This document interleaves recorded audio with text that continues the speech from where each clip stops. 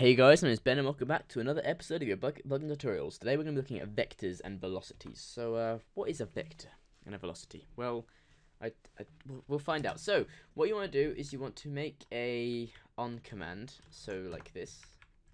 So control space to bring that up. And basically what a vector or velocity is, is it um it changes the sort of speed that the player is going at. So we're going to make like a super jump plugin and uh, what that's going to do is it's going to shoot them straight in the air. And obviously it's very easy to customize, you can do it very easily, and I'll show you how to do that. So, what we're going to do is check if the label is, uh, so if the label equals ignore case test, because I think that's what I've set it up to, we want to um we want to get the we want to check if the player is a sender or if the sender is a player. So if the sender is an instance of uh, player, then we're going to say player player equals player sender. Basic setups that we've been doing for the past 60 tutorials.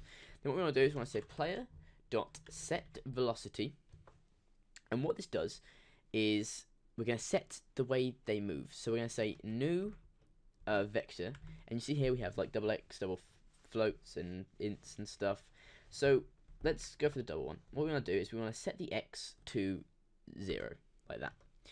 Or actually, no. We want to set the x to whatever x they were going at before. So we want to say player dot get um, vector or velocity dot get x. So that's going to return the x velocity they were going at.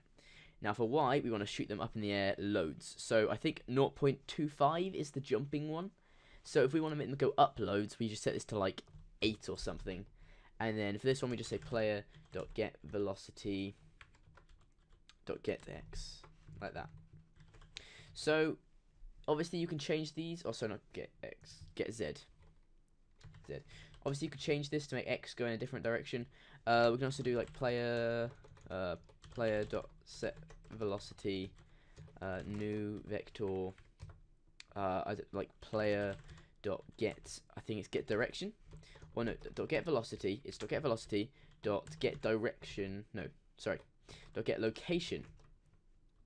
So you get the location and you can get their direction from it and that returns the direction they're looking at. So you can do a lot of stuff with that and it, it's very it's very cool. You can you know decide which way you want to move them. And actually if we go into I have this set up in BatKnight code um, you see on player move for the Catwoman code we're checking this is just for the leap thing uh, we're setting their velocity uh, to for their they're just going to keep on going in the direction but we're multiplying their y so we're just basically all we're doing there is we're going to keep them going in the same direction they were going in before but instead we're just going to add what stuff to their y so they leap so if we export this now uh, I'll see you guys in game alright so back in game and if I'm just walking along here and I do slash test it's going to shoot me way up in the air and then bring me that down. Blah, blah, blah, blah, down.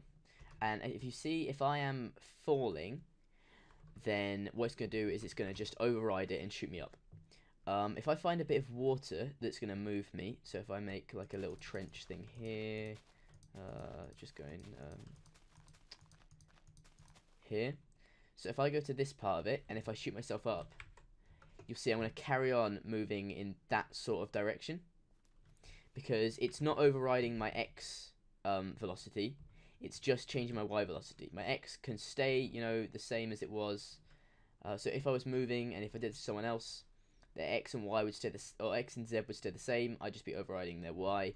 Uh, obviously if you want to do to someone else you can if you look back in code you can just change the player sending it to to you know an argument that you added which obviously we did in the first no the second tutorial. So if you don't know how to do that go watch the second tutorial again.